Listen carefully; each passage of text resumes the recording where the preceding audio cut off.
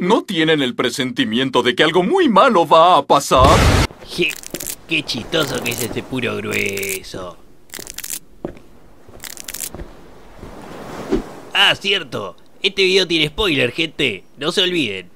¿Qué onda gente? ¿Cómo andan? Espero que anden bien, yo ando bien. Como siempre antes de arrancar con el video quiero mandarle un saludo a los miembros del canal, que ya no son dos, ahora son tres, así que bienvenido Marcos444 Capo, y muchas gracias por unirte al canal, muchas gracias por bancarme, y muchas gracias también a Lucas Abraham y Gold, porque siguen acá. No sé por qué, pero siguen acá. Muchas gracias por seguir acá, aunque no esté haciendo casi nada para los miembros del canal. Bueno, un detallito por ahí que les tiro es que Marcos se unió al canal específicamente para pedirme que haga otra temporada de Carsmila. Eh, todo lo que les puedo spoilear es que no va a ser una tercera temporada como tal, sino que va a ser una especie de spin-off, porque quiero que también se entienda para la gente que nunca vio Carsmila y a la vez sí continuar lo que pasó en Carsmila es eh, complejo lo que quiero hacer. Pero bueno, no importa. No vinimos acá para hablar de todo eso. Vinimos acá para hablar de la película Sammy y el pasaje secreto.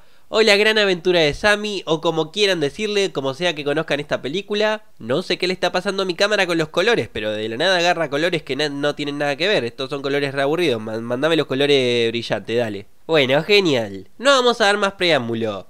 Como ya saben, cuando no tengo mucho que decir de la película, la suelo resumir. Y en este caso, no tengo mucho que decir, así que vamos con ese resumen. Esta historia arranca en el mágico año de 1959, donde Sammy, una tortuga marina de color verde, sale del cascarón en una playa random y mientras intentaba trepar para salir de su nido, es atrapado por una gaviota. De pura casualidad, la gaviota choca con otra gaviota que había agarrado a otra tortuga recién nacida llamada Shelly, que seguramente sea la hermana de Sammy, pero por cuestiones family friendly vamos a omitir ese detalle. Sammy cae encima de una vieja balsa de madera y se desmaya.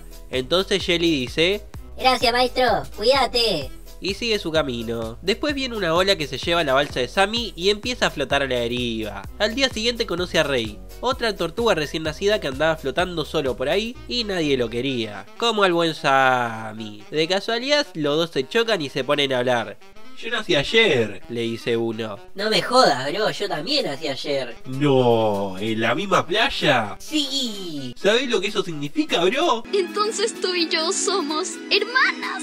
Cuestión que los dos pibes se autoproclaman hermanos y crecen juntos, viajando por el océano en su balsita y viviendo aventuras re locas. Y bueno, un día pasó que Rey llevó a Sammy con un pulpo recopado que conoció y el loco les hace un juego tipo Sam, así re divertido, pero enseguida se ven obligados a refugiarse por culpa de un derrame de petróleo. Y esta escena sirve para mostrarnos que el objetivo de esta película es mostrarnos cosas que le hacen mal al medio ambiente. Siguiendo con nuestra historia, Sam y Rey crecieron y se volvieron muy grandecitos para andar ocupando una balsa, así que la rompen y se ponen a discutir acerca de cuál de los dos tiene el culo más grande e hizo que rompiera la balsa. Pero de la nada aparecen redes de pesca que separan a los pibes. Sammy intenta escapar del barco que lo capturó, pero queda atrapado en medio de unas cajas. Por suerte, los pescadores flasharon que estaba muerto, así que agarran y lo tiran para el mar. Ahí queda flotando y flotando hasta que llega a una playa llena de hippies liderados por una mujer llamada Snow y que además tiene un gato de voz sexy que se llama Michifus. El pollito. Eran re raros los hippies. Primero quisieron que Sammy se empotre a una vieja y después van y le pintan un símbolo hippie en el caparazón que le va a durar para toda la vida. Onda, quieren conservar el medio ambiente y de la nada pintan una tortuga. ¿Quién los entiende? Cuestión que un día llega la policía para llevar a estos hippies a que se den una ducha y Michifus le dice a Sammy que si no se esconde, lo hacen sopa. Así que el pibe se esconde y queda solito, por lo que decide volver al océano y ahí se encuentra la tortuga vieja que los hippies querían que se empotre. Así, los dos forman una alianza para buscar comida. Pero de la nada ven como una tortuga está siendo atacada por un tiburón. Entonces van y la rescatan. Solo para descubrir que era nadie más y nada menos que Shelly. Aquella tortuguita que había chocado con Sammy cuando recién nacieron. Sammy le cuenta a Shelly que los hippies le dijeron maravillas del mundo y que quiere conocerlo para encontrar una cosa que se llama el pasaje secreto. Cosa que realmente no importa y que no lleva a ningún lado. Cuestión que ella acepta acompañarlo en su aventura. Así, ambos se embarcan en búsqueda de ese pasaje random y viven una aventura a través del mundo, pero son separados cuando llegan al canal de Panamá y el objetivo de Sammy se vuelve encontrar a su hermana que no podemos decir que es su hermana porque también es su interés amoroso.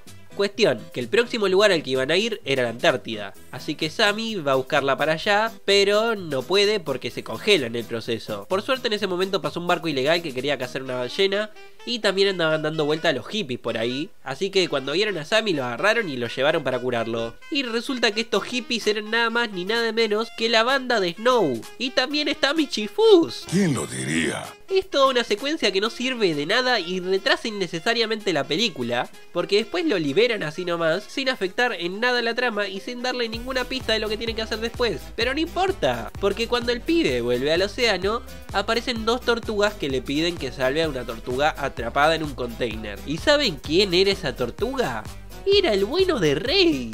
Así que los pibes se ponen al día, se dicen che, ¿cómo andás? ¿Qué anduviste haciendo? Te presento unas minitas. Y daba la casualidad de que la novia de Rey conocía a Shelly y la piba andaba por ahí.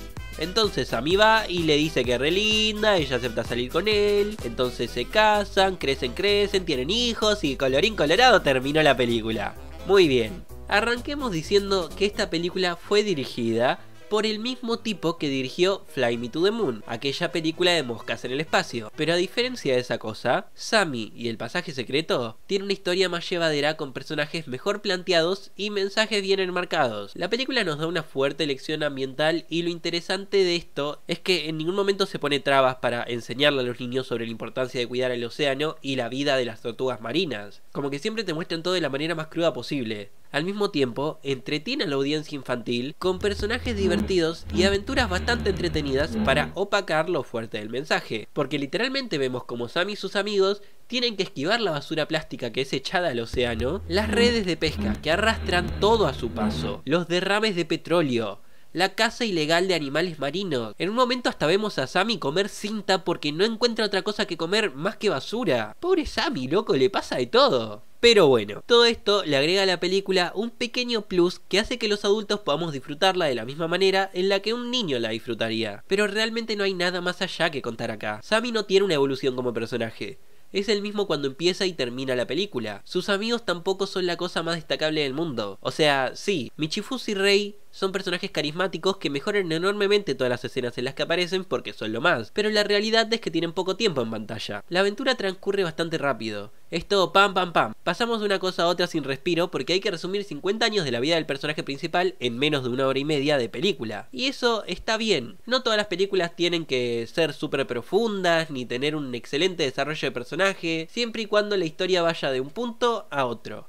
Y bien, eso es todo lo que tengo para decir. La película no es una película excelente, de hecho, es una película que solo vive por su mensaje. La historia de Sammy es linda, pero es eso, es una historia linda no tiene un excelente desarrollo de personajes, no tiene una excelente progresión de la historia. Creo que hubiese quedado muchísimo mejor como una serie, ya que podríamos haber visto más de sus aventuras en lugar de ver tanto pa pa pa pa pa pa. Como que la película en sí se siente como un resumen de toda la vida de Sammy, porque es un resumen de toda la vida de Sammy. Y realmente no tiene un objetivo más allá de ver crecer al protagonista. Entonces sí, puede ser medio me, porque no tiene un objetivo en concreto, es solamente una historia y listo.